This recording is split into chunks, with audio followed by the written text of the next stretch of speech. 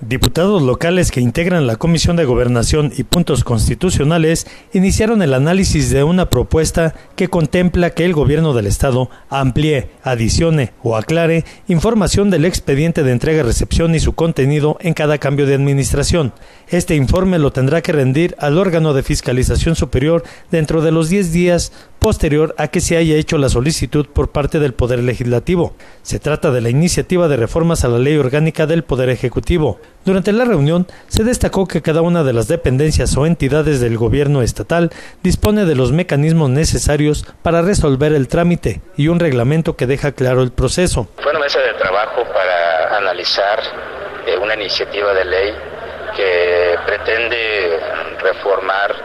la ley orgánica del Poder Ejecutivo a efecto de que el Poder Ejecutivo este, envíe su,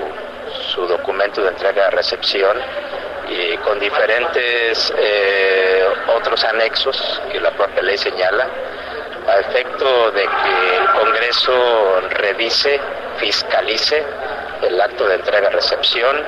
seguramente a través del órgano de fiscalización superior. A este efecto, desde luego, hubo opiniones a favor, opiniones en contra, opiniones a favor que señalan que es un acto más de transparencia y rendición de cuentas, opiniones en contra de que ya la transparencia y rendición de cuentas se da cuando la Secretaría de la Transparencia y Rendición de Cuentas es, la, es el órgano que fiscaliza, que revisa la entrega de recepción que hace